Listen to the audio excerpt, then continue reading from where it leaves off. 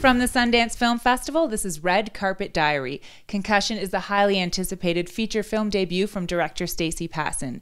In it, a woman radically changes her life after a blow to the head. Welcome, Stacie. Thank you very much. Now, is it true that the idea for this film came to you after a minor blow to the head? That is exactly right. Um, I was playing baseball with my son, and he beamed me, and um, it got very, very bloody very quickly. What do you What did you think was going to happen? What do you think is going to happen if you throw a ball at my head?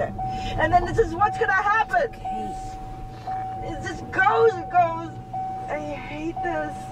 I woke up sort of in this haze, and I started to write the next day, and it was um, it all came coming out. Hi, I'm Gretchen. You're so pretty. Wow. Look at you. You look. You look amazing. You're just saying that. Oh, you're funny.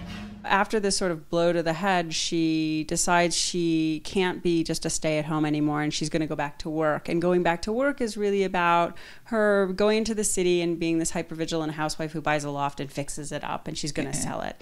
And soon we sort of see that her reason for being in the city is about isn't necessarily all about fixing up this loft. It's to kind of use the loft to solicit sex. How long has it been?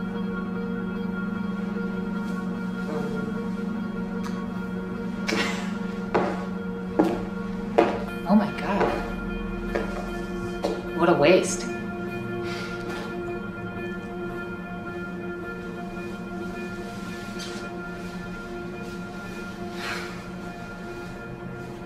I felt, and so did Robin, that each woman should really define their sexual journey uh, with each other. So um, I knew that the best way to do that was to sort of inform Robin look, Abby is searching for sex, certainly.